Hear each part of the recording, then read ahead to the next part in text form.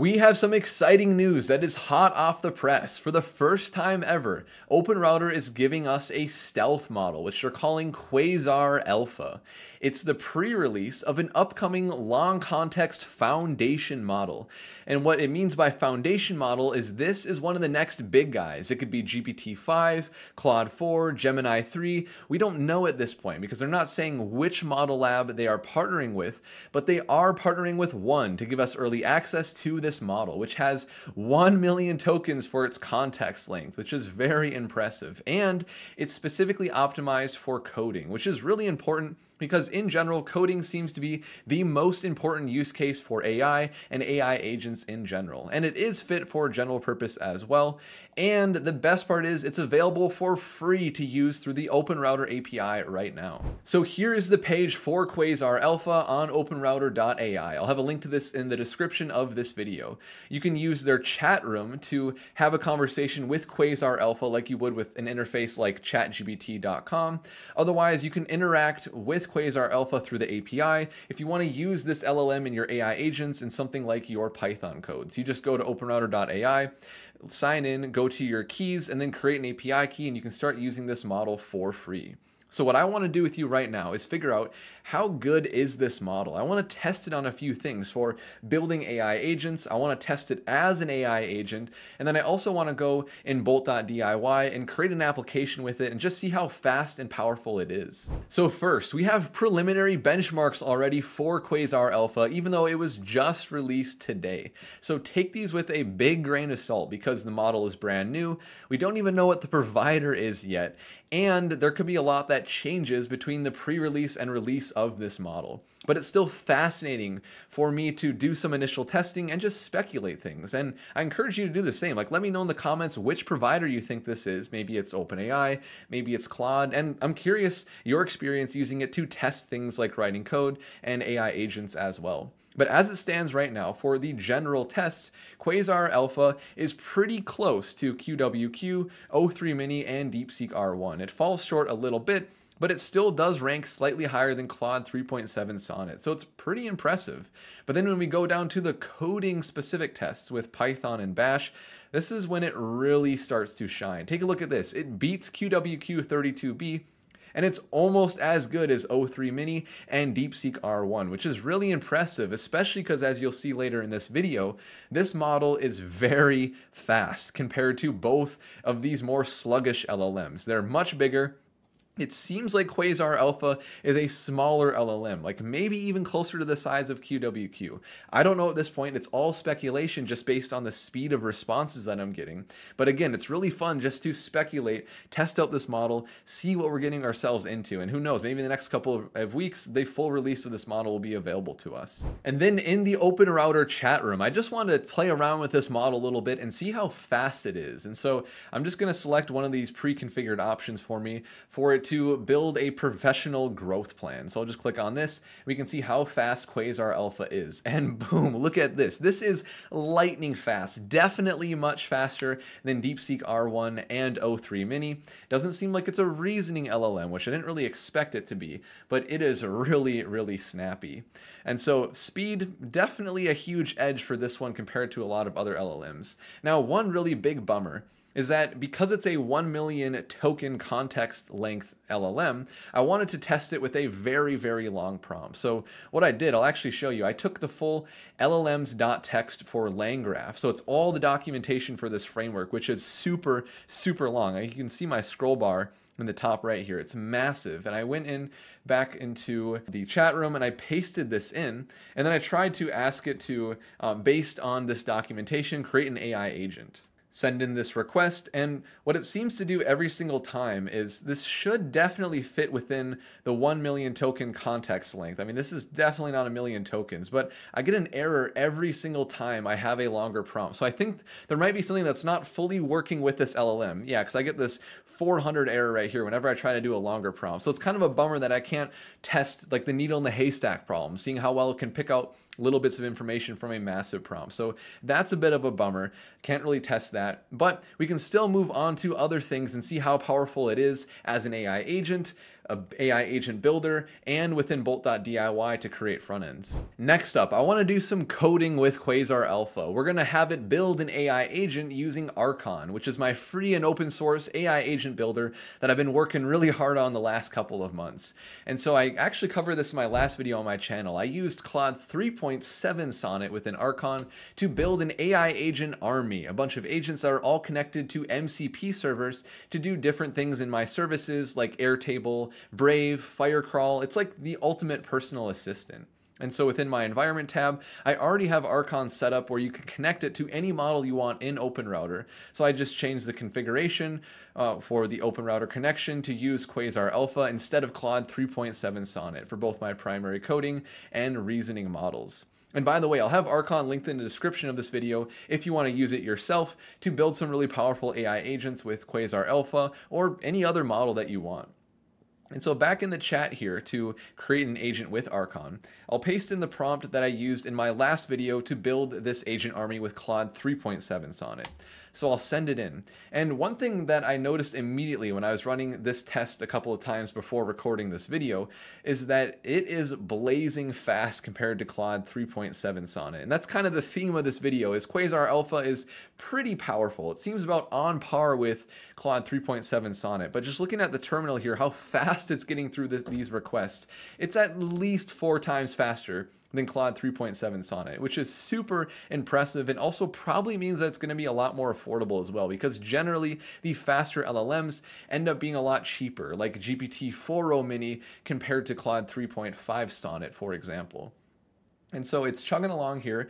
It's creating that final code for my agent, which is going to be pretty long because Archon builds a lot for us. And so in just a second, we'll have everything pop up on the screen. And usually this would take at least a couple of minutes with Claude 3.7 Sonnet. So I'd have to pause and come back. But in this case, I didn't pause the video at all. I recorded the entire time. It took about maybe 30 seconds to a minute to, to make this whole thing instead of multiple minutes. And yeah, look at this. This is really, really solid code. I'm to just scroll through this really quickly here to make sure that it set up everything right.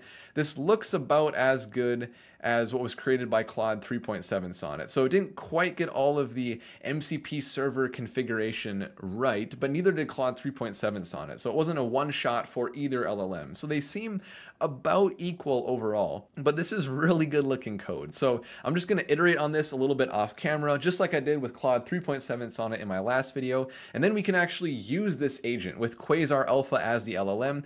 So we can not only test Quasar Alpha as the agent builder, which it did a pretty good job here, but we can also use it as the agent itself. All right, it took two more tries to get the code in a working state, which is exactly what it took with Claude 3.7 Sonnet as well. So I have it now in my file system up and running, and I have it connected to my custom front end. And since it is an MCP agent army, what we can do is ask it to work with a couple of our different services like Brave, Airtable for our data storage, and Slack for our communication. And so the first prompt that I'm going to give it is to search the web for the newest and best LLMs in 2025. And so that will require it to go out and use the Brave API to get that information. And then I wanted to take the top five from the web search and add it to this specific table in Airtable, and then finally send the results in a Slack message. And so it's not the simplest of requests here. I'm requiring it to use quite a few different tools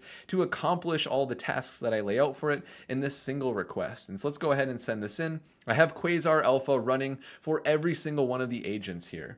And so I have my terminal open just like I did with Archon the first step, it did it correctly. It's calling the Brave agent to query the best LLMs in 2025. And then it calls the Airtable agent to add this list into my table that I have open up right here. And so in just a little bit, we'll see it populate as the Airtable agent adds these records. And boom, like clockwork, there we go. We got the five records. And now it's calling the Slack agent to send a message summarizing the results. And this is also very, very fast compared to anything I've seen with this MCP agent army. Before, I was using GPT-4o Mini for my model for this agent.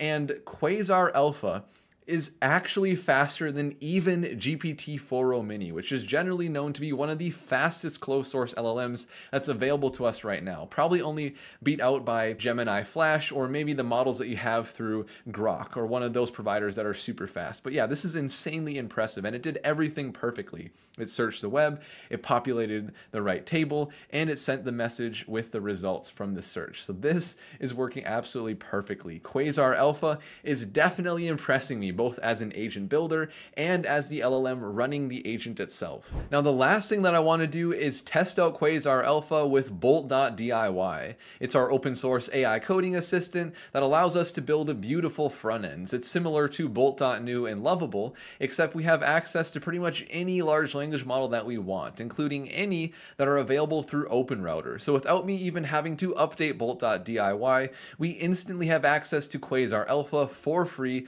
to build out out our front ends.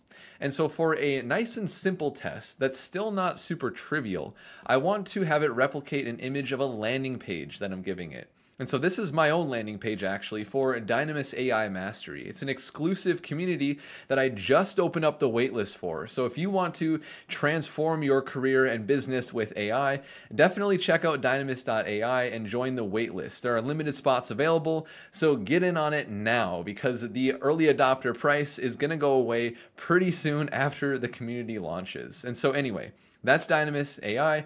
I have a screenshot of the landing page that I sent into Bolt DIY, and I'm just telling it to make a landing page that looks exactly like the image that I attached. And surprisingly, a lot of LLMs do pretty poorly with this. I mean, the best of the best, like Claude 3.7 Sonnet and O3 Mini, for example, they do pretty good. But there's a lot that goes into copying something that looks exactly like this landing page. And I don't expect it to get it perfectly but we'll see if it can lay out the general structure, get some of that core text in there.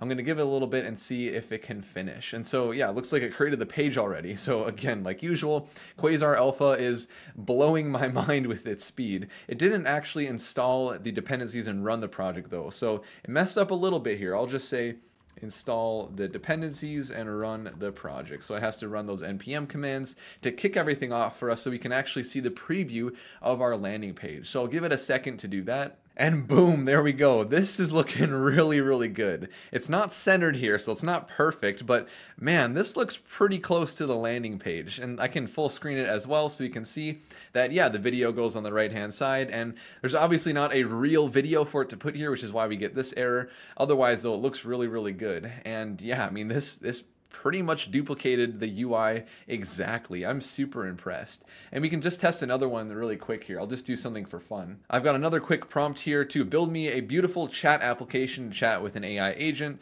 just with a placeholder message response right now. But yeah, I want a full chat, conversation history, a sleek and modern dark theme design. So let's see what it can spin up for us here.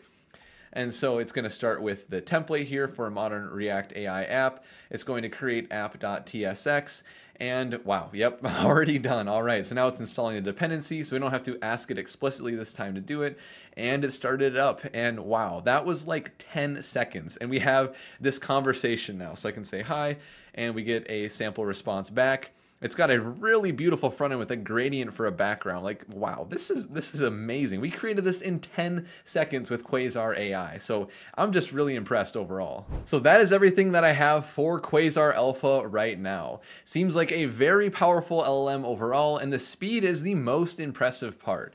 And if it sounds like I'm overhyping Quasar Alpha in any way, I don't mean to. I'm just very passionate about AI, so I'm really excited about everything that I am talking about. But I do think that it is a very powerful LLM. It's maybe not going to revolutionize AI once it is released, but definitely for use cases that need a good amount of power and a lot of speed, it could be a game changer because generally you have to sacrifice speed a lot when you want a lot of power with current LLMs like R1 and O3. But that might change with Quasar Alpha. I definitely foresee that. That's kind of my hot take, big prediction out of this. And I'm curious what you think as well. I mean, speculation right now is just really fun, especially for the first ever cloaked model that we have on OpenRouter. So, what do you think the provider is for this? Is it OpenAI? Is it Claude? What kind of pricing do you think we're going to get for this? When do you think it's going to be released? I'm super curious, so let me know in the comments what you think and also your experience using this LLM as well. So, if you appreciated this content and you're looking forward to more things AI and AI agents, I would really appreciate a like and a subscribe. And with that, I will see you in the next video.